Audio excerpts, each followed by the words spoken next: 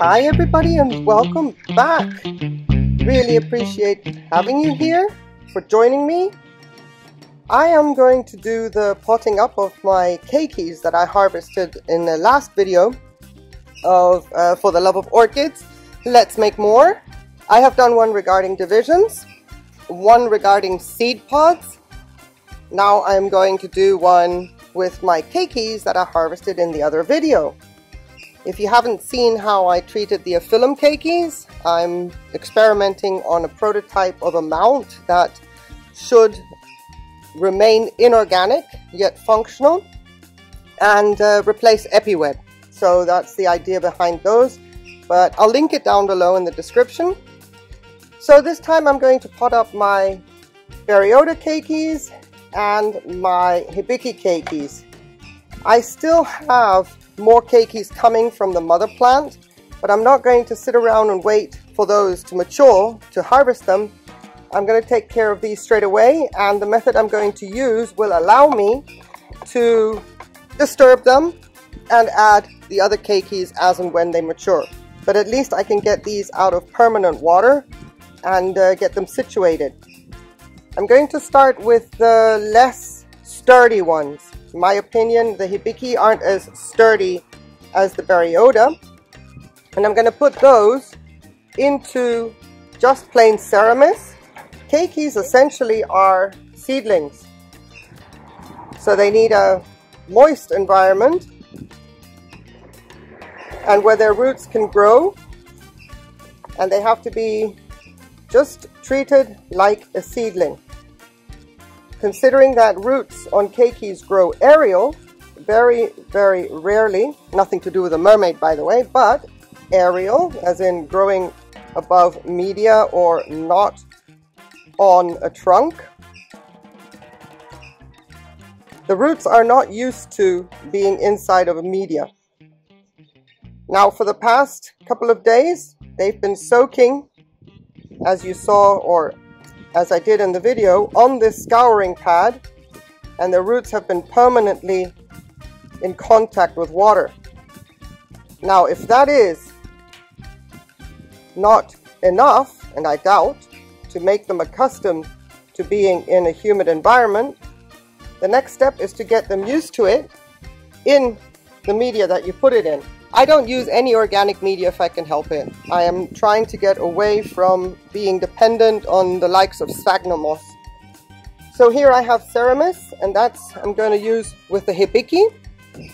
And uh, because, because the roots are much, much smaller, finer, and the last time I did Hibiki keikis, I just used leca.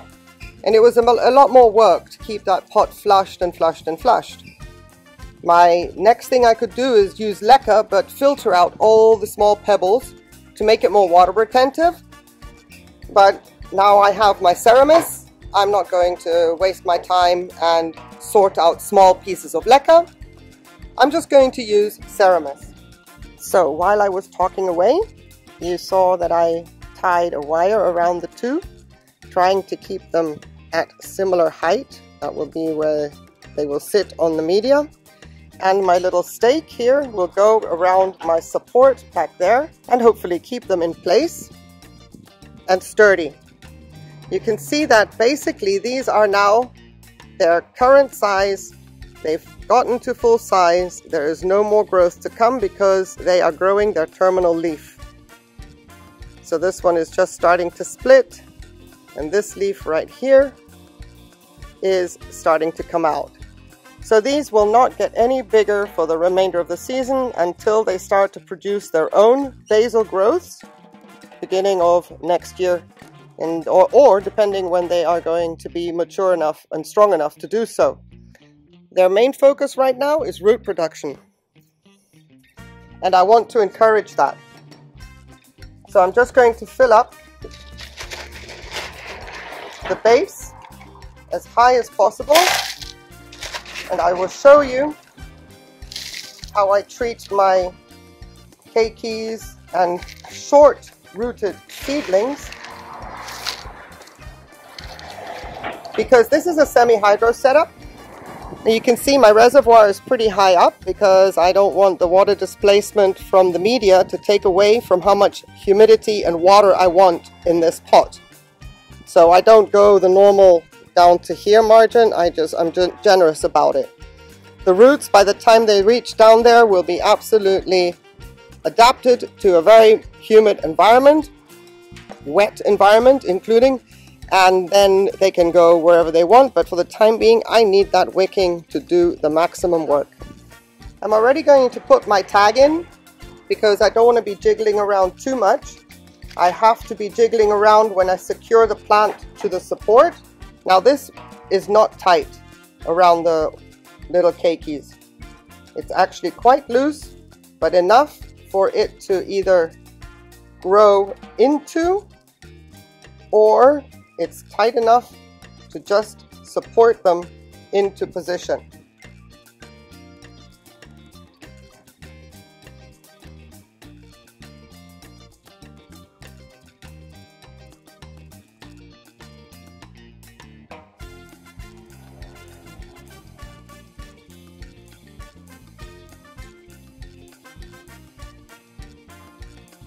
I just use the pliers to give me that extra bend because if I try to bend it with my hand, I'm squashing them against the wire and I want to avoid that.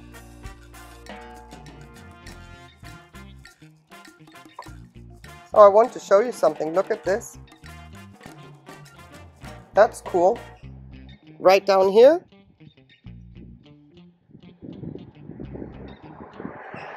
That is the sign of a new growth already.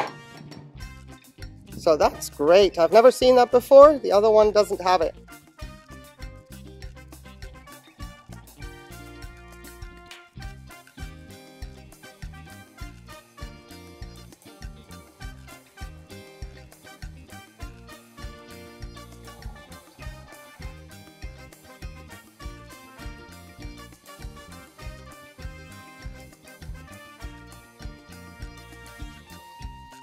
All that remains is to fill her up and see if she stays upright on her own accord.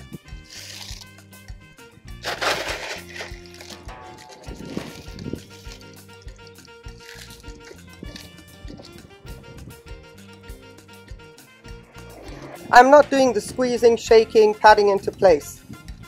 These roots are not accustomed to what's going about to what they're about to live with. So a little bit more diffused air around them is absolutely fine with me. And I believe they are sturdy enough. Unless I can get away with one more turn without messing it up. You know, sometimes you take a step and you think, I should have just left it. It was perfect. But no, we always try to think we can do it one more better in the hopes that nothing goes wrong in that attempt. There we go. That will work for me perfectly.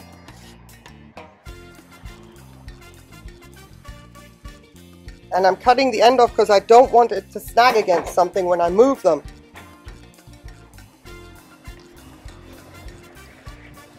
There we go. Vicky K-Keys. You're on your own now. Well, sort of. I'm to fill up. This is um, 150 ppm of fertilizer. 75 calcium nitrate, 75 MSU. The pH is 6.3. Same procedure. Anybody else watch Dinner for One? I love Dinner for One, by the way. It's something I watch every year at 5 p.m. on New Year's Eve and 7 p.m. again. And if I'm still haven't had my fill, then again at 9 p.m. Dinner for one has been my ritual. And if I went to travel to a country, for example, that I know didn't have it, then I have a DVD and I took it with me. it's a Dinner for one, Miss Sophie and Mr. Pomeroy.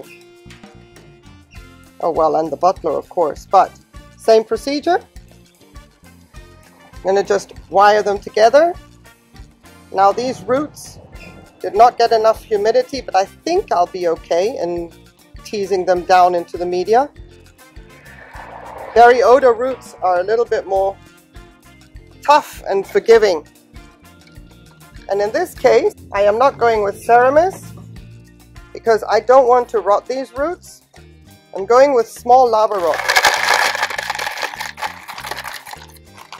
Also in a semi-hydro setup. I can flush and flush and flush in this method. I won't have any problems whatsoever, whether it be fresh water or fertilized. I can really go to town in this method. And that's why I like the little lava rock, because if someone were to get my Berry Oda and they don't grow in my LECA self-watering setup, then the bark and the small lava rock, both of them can be adapted towards each other. So it's easier if I give them a kind of an environment they might get accustomed to in future. I don't know. Maybe I'm just going to be growing these keikis on for myself. And all the other ones that are to come, I've seen two more on the mother plant. But back to lava rock and bark. Lava rock will dry out re relatively quickly. I can give this orchid a dry rest in the winter by letting the reservoir completely dry out and not refill. And I can be just as aggressive with watering when she's in growth mode. Same reason, I can flush, flush, fill the reservoir, flush, flush, and then the roots can have the best of both worlds. These keikis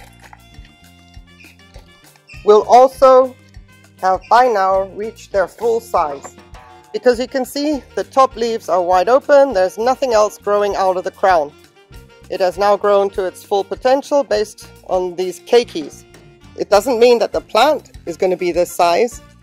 The plant will get much bigger once they grow their own new growths. But from a keiki point of view, I have nothing else to anticipate growth-wise. It may not even push out more roots, it may just be the way it is now until new growth start. And these roots are it for the foreseeable future.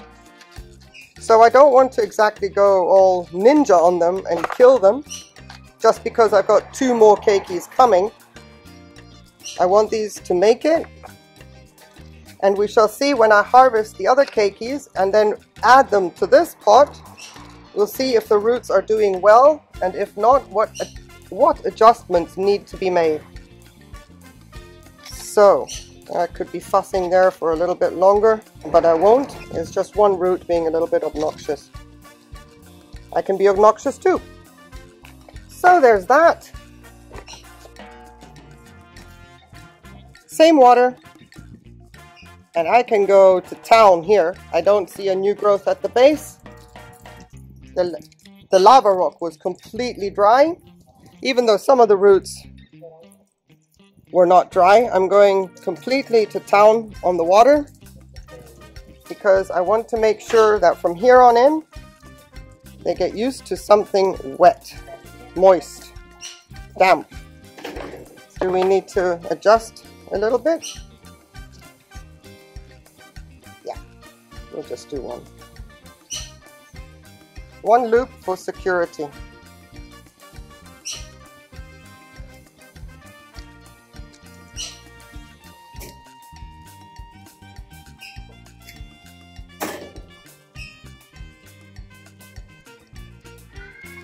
We go.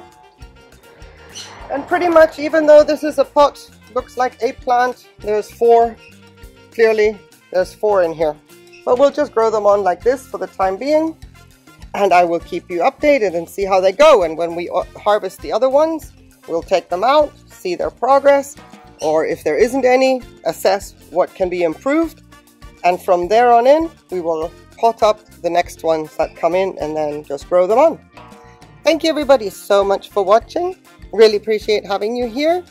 There's some background noise, but um, they are probably more wondering what is going on behind the hedge.